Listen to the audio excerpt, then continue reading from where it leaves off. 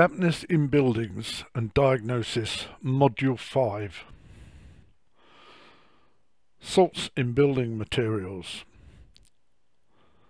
Efflorescent salts. Efflorescent salts form on surfaces, including beneath wallpaper, paint films and plaster. The latter they can literally blow off as they form. They form as a white, amorphous powder or a crystalline solid. Whether they form as a powder or a solid depends on the surrounding humidity. Most are sulfates, usually sodium sulfate, but as we'll see later, one can get magnesium sulfate in certain roof tiles. And sulfates are common in many older building materials. The important thing is they lose water to the air as they form on surfaces. They lose water. And where visible, they indicate the passage of water through the material. It's very important to note that salts can only move in solution, not as a solid.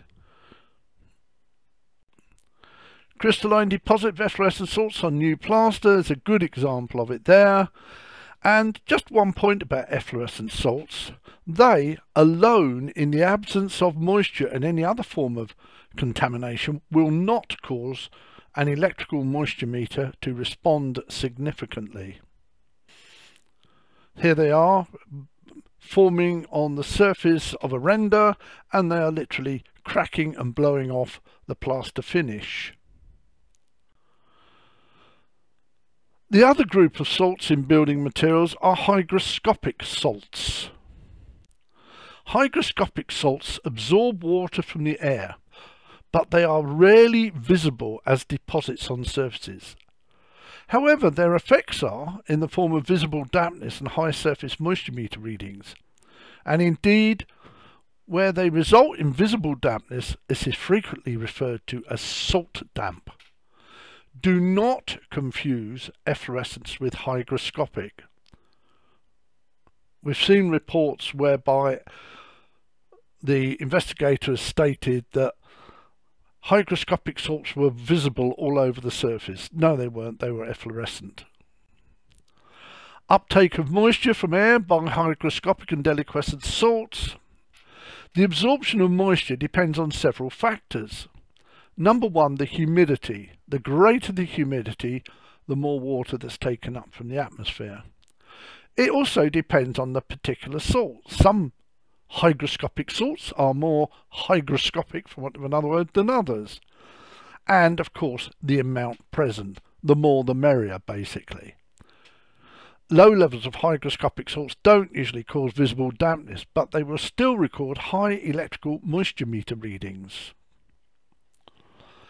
So this is very roughly a diagrammatic form of the relationship between the air-dry moisture content, i.e. the hygroscopic moisture content of a material, and the humidity and level of contamination. Low levels of contamination, as we increase the humidity, very little happens. It'll go up slightly, as indeed it does in a, in a clean material, but it goes up a little bit more. However, look what happens when we get heavy contamination. In a low humidity, it's probably not noticeable. There is more absorption of water from the air, but when the humidity is high with heavy levels, we get a massive increase in water absorbed from the atmosphere. The highest I've come across is 24%. All that moisture was hygroscopic. So the absorption is related directly to humidity. Where we get dampness caused by hygroscopicity, we refer to it commonly as salt damp. And this appears to come and go depending on humidity. Often appears on rainy days, then dries out. Also common around chimneys. Salt damp can come and go pretty rapidly, often within a few minutes from being visibly dry to visibly damp. If we look at water ingress, however, this usually results in some degree of efflorescence and eruption of finishes, not just simple visible damp. Some examples of salt damp On the left, the old plaster was left on. This was a job basically that looked pretty clean. But one day it just appeared like that. As the humidity went up, so did that. And that appeared in a matter of a few minutes. The other session on the right, salt damp, that's where dampness is solely due to the hygroscopic nature of the salts. We saw that one in an earlier module, caused by hygroscopic salts being derived from a chimney flue. The other feature of them is if the hygroscopic salts get into a hygroscopic material, such as wallpaper or cardboard, then the effect of dampness seems to be exaggerated. Salt damp, salt damp on a bedroom chimney area, first floor, and salt damp on a lounge wall. Salt damp, funny enough, seems to look different. Salt damp just looks different. There is an extreme of hygroscopic known as deliquescence or deliquescent.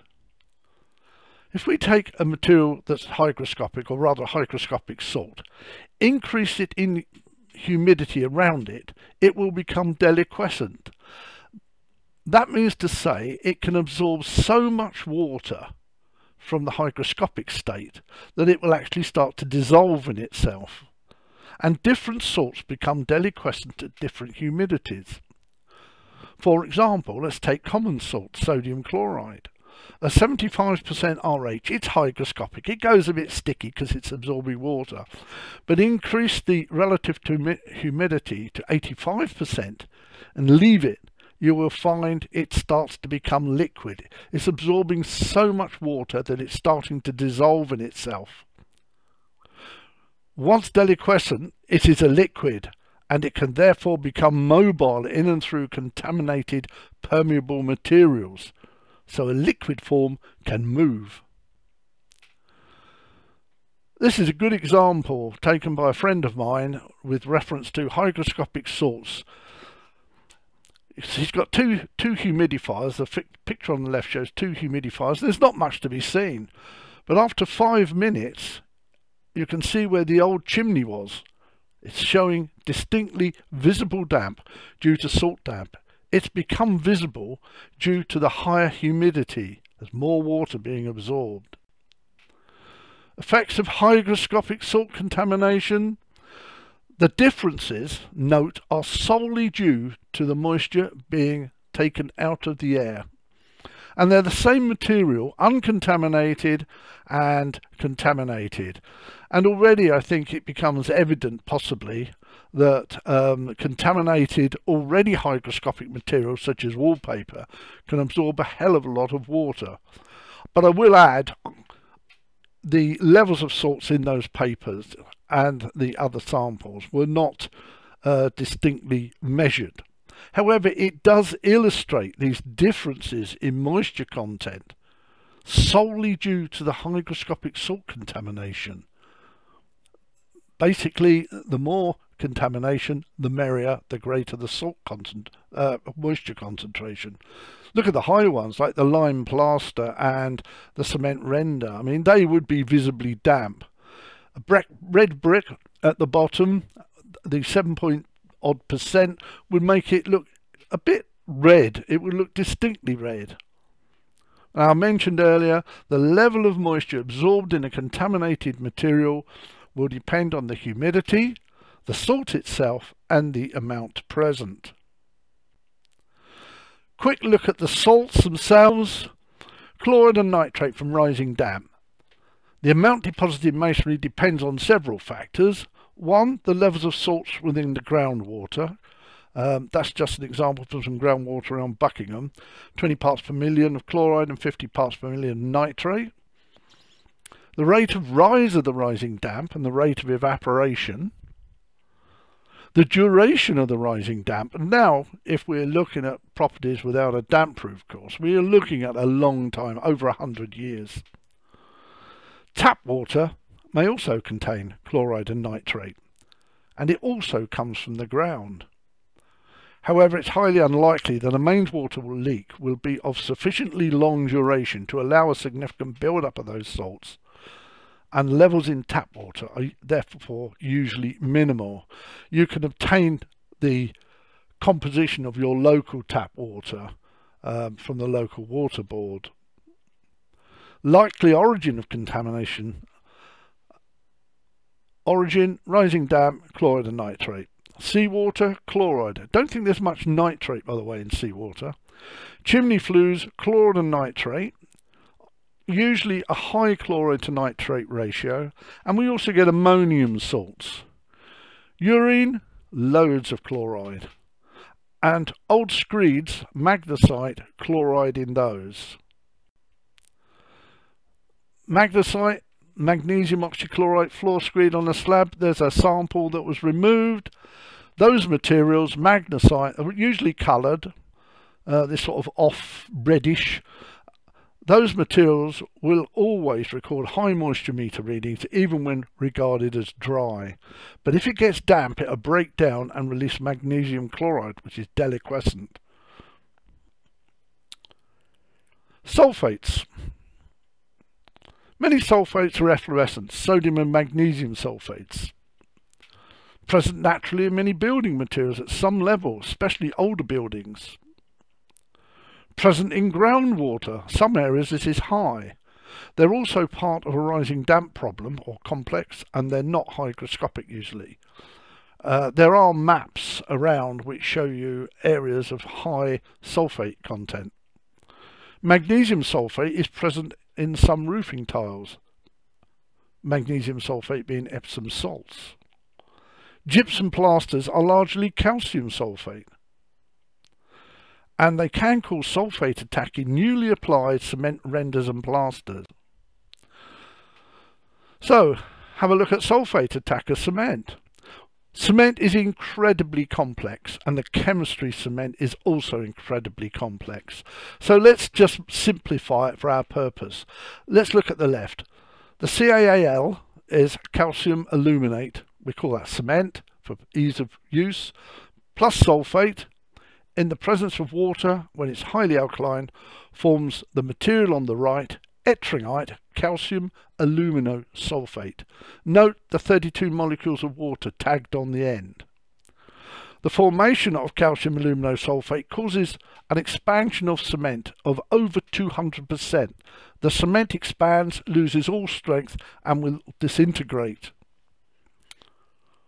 And if you take a piece of severely sulfate attacked, say, render, drop it in a glass of water and leave it overnight, if it's that bad, it simply just disintegrates and collapses into uh, a muddy pile.